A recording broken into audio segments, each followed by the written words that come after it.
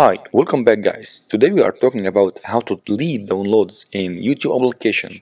Why would you want to know how to delete downloads in YouTube application? Well, maybe because it takes many storage and you want to have some space.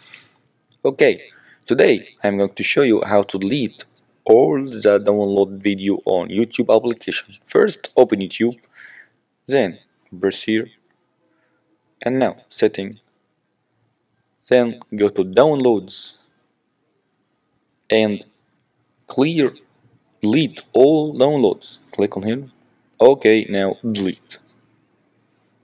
Deleting downloads. That easy guys.